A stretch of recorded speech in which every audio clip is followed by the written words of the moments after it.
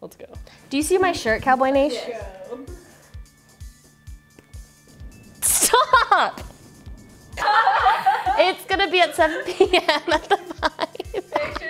Hey, Cowboy Nation. I'm Christina. And I'm Cheyenne, and this is your final promotion for the Cowboy Alley Film Festival that's this Monday, June 4th at 7. We really hope to see you there and that you support the video production class and everything that they put their hard work into. It's gonna be at the Vine. It's $8 for students to get in and $10 for adults. It's gonna be an awesome time.